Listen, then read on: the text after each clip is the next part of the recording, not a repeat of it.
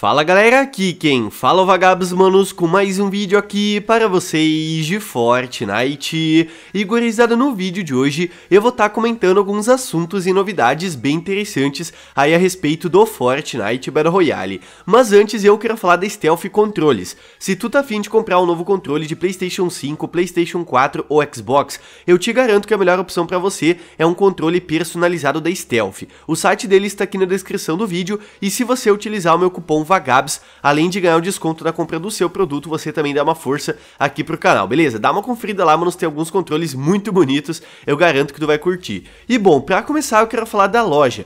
Olhem só, manos, ontem à noite a Epic Games colocou a seção, né, de itens que não voltam há um ano ou mais. Ou seja, que não voltam há muito tempo, tá ligado? Então se você tá afim de comprar um desses itens, né, ali tem skins, tem itens no geral, né, gestos e tudo, aproveite, né, pra comprar agora, porque pode ser que depois eles saiam da loja, né, de novo, demora mais de um ano para voltar, então é bom, né, garantir caso você esteja, né, afim de comprar um deles, tá? E olhem só, rapaziada, outra parada que eu quero comentar com vocês aí de loja e tudo, é sobre skins de parceria. Bom, esse assunto, né, já vem sendo discutido há um certo tempo, tipo, é meio que um embate na comunidade, tá ligado? Tipo, muita gente é contra skin de parceria, muita gente é a favor, muita gente tá ali no meio termo, é aquela discussão de sempre, né? Só que olhem só, o que eu quero falar agora é uma notícia que tá indicando pra gente, né, que a cada temporada que passa, mais skins de parceria são lançadas. Nesse capítulo 3, por exemplo, já alcançamos a marca de 50% das skins, itens cosméticos no geral, né, lançados na loja, são de parceria, manos.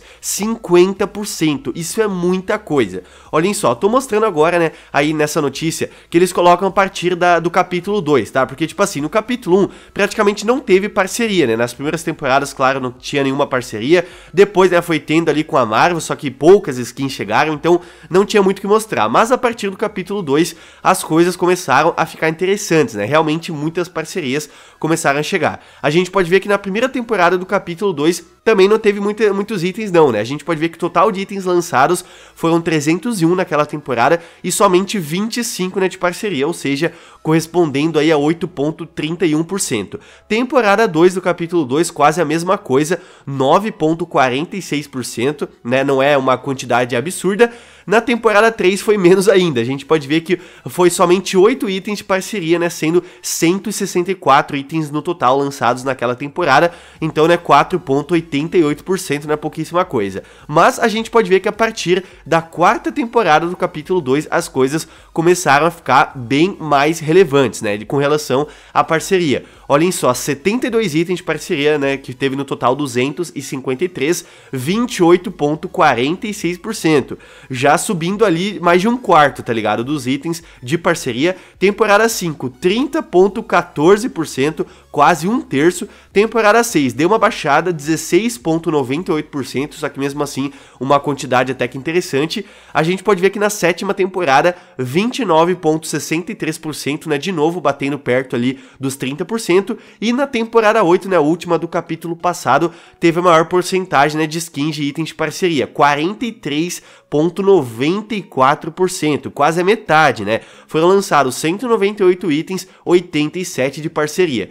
E a gente pode ver que a partir do capítulo 3 aumentou aí na margem de 50%. Temporada 1, 52,46%. Temporada 2, na temporada passada, 49,57%, né? Um pouco menos, só que também né, batendo ali nos 50%. E essa temporada também tá mais ou menos nessa margem, metade dos itens só de parceria. Essa notícia aqui, né, como eu disse, uh, já que tem esse assunto de skin de parceria, deixou muita gente meio bolada, tá ligado? A galera não acha que é tão legal pro jogo lançar tanto item de parceria, por outro lado, muita gente gosta, prefere até itens de parceria do que skins feitas pela Epic, porque muita gente fala que a Epic tá um pouco relaxada para fazer skins e tudo mais, mais, que prefere, tipo, um personagem conhecido, um personagem diferente, do que uma skin ali só que muda a cor, tá ligado? E a gente sabe que a Epic Games vem fazendo muito isso ultimamente, né? Ao invés de lançar um novo personagem ali e tudo mais, uh, muitas vezes eles pegam, tipo, uma skin antiga, né? Só muda ali um pouco a cor, um pouco o traje e bota ali na loja, tá ligado? Então isso também, né, é um ponto aí pra galera, né, comentar. Mas enfim, mano, a gente pode ver, né, que começou perto ali dos 10%, foi pra 20, 30, 40 e já estamos na margem de 50%. Eu não acho que vai passar disso, tá? Eu não acho que na próxima temporada ou no capítulo 4 vai passar de 50%, vai ficar tipo 60, 70, porque aí já seria um absurdo, tá ligado? Eu acho que essa 50% é meio que o limite ali, né, pra Epic Games colocar de item de parceria, porque, querendo ou não, ia ser até muito, tipo, a, a, o Fortnite vai virar uma vitrine, tá ligado? Se parar de, se alcançar ali 60, 70% de item de parceria, realmente será muita, muita coisa, então eu acho que também não seria muito bom pro jogo, tá ligado? Pelo menos essa é a minha opinião, eu acho que 50% tá o limite ali já, mas enfim, né, comenta a sua opinião a respeito do assunto, se você acha que a Epic tá exagerando, é uma margem muito alta, 50%, ou você acha que tá bom ali, tá ligado? Tem que aumentar até, enfim, né, fica à vontade para comentar aí embaixo, né, afinal tem muitas opiniões diferentes espalhadas aí na comunidade a respeito desse assunto, né, skin de parceria é uma parada que a galera já comenta há um bom tempo aí. E, manos, uma parada que eu quero falar aqui pra vocês é que nessa última semana agora que passou, completou 200 dias que a Epic Games já tirou do jogo a Pump e também a Scar, né, duas armas muito conhecidas que muita gente gostava, foram colocadas no cofre, né, se não me engano, no início do capítulo 3, e até hoje não voltaram, mais de seis meses já, né, quase sete meses aí,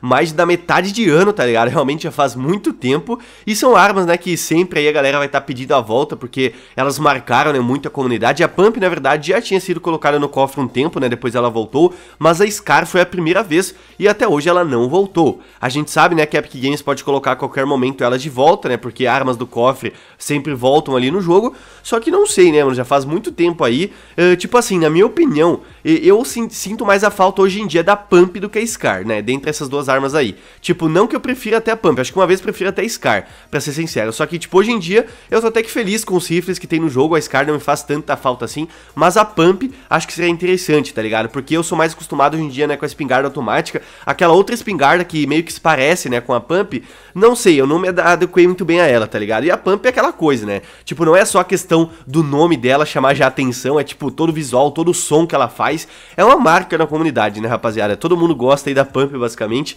mas enfim, né, tá aí uma curiosidade que já faz mais de 200 dias que essas armas não voltam. Seja sincero aí, manos, comenta se você sente falta delas, acha que seria necessário elas voltar, ou se você acha que tá de boa assim, né, e tudo mais, e afinal, né, são duas armas aí muito, né, muito marcantes na comunidade até hoje. Mas então é isso, galera, espero que vocês tenham gostado aqui do vídeo, comente aí, né, o que você achou dos assuntos que eu falei aqui, pra você ficar esperto, então, né, aqui na loja ele tem a seção de itens que não voltavam, né, mais de um ano, então, né, se você tá afim de comprar, aproveite esse momento. E se você gostou do vídeo, manos, deixa o likezão aí, porque me ajuda muito mesmo, e claro, né, também mande aí pros seus amigos, pra todo mundo comentar o que acha aí a respeito das skins de parceria na estarem aumentando cada vez mais no jogo. A gente pode ver, né, que nesse capítulo 3, as três temporadas, né, pelo menos aí até o momento, tem mais de 50%, né, perto de 50% basicamente de itens lançados de parceria. Então, basicamente metade dos itens da terceira temporada, terceiro capítulo, né, são de parceria, o que é muita coisa, né, realmente um assunto importante, então comente aí o que você acha disso. Então é isso, manos, aquele abraço, se vemos no próximo vídeo, valeu, falou, se eu fui!